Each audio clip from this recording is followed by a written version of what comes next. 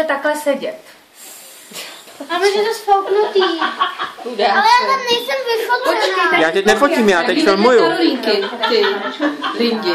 Dobrý, teď, teď jste všichni. A kup Marek, míte vaší